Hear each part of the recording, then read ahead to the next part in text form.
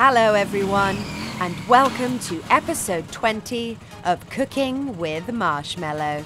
We've got a dish we've been wanting to make for a long time, Mello.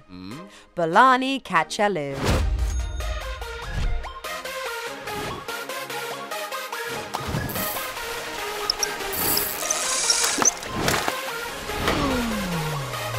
For today's recipe, we'll need flour, salt, olive oil, potatoes, peeled and quartered of course, cilantro, scallions, pepper, and some yogurt.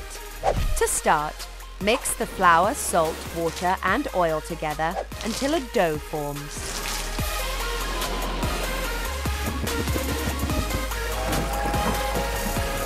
Next, add some olive oil, salt, pepper and cilantro to the potatoes. Now mash it up.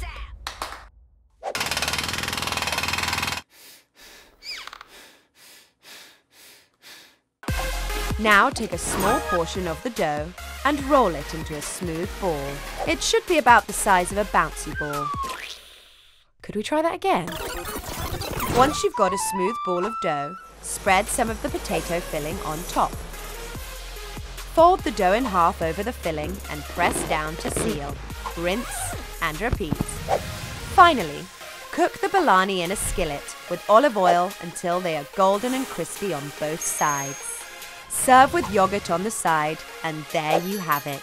Traditional Afghan bolani kachaloo, the perfect afternoon snack. Thanks for joining us today, loves. We'll see you next time.